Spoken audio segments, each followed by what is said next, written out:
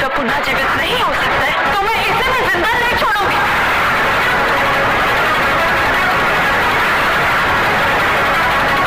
हमें खुद बाहर जाकर पता करना होगा। ज़िंदगी की जान का फाइनली गाइस नियति ने आज बहुत ही बड़ा फैसला ले लेती है, जहाँ पर दिव्यम को मारने के लिए उतावली हो जाती है, क्योंकि उसे पता चल गया होता है कि मेरा विश्वा का पुनर्जन्म नहीं हो पाएगा, तभी तो उसके सामने आग जला देती है। तो वहीं दूसरी तरफ़ राधिका बहुत ही बड़ा फैसला ले लेती है कि मैं अपने दिव्यम का पता लगा कर रहूँगी, उसके साथ ही साथ मैं नियति की भी सच्चाई पता करूँगी कि आखिर वो है कौन और इस घर में क्या करने आई है, इसका फैसला क्या है?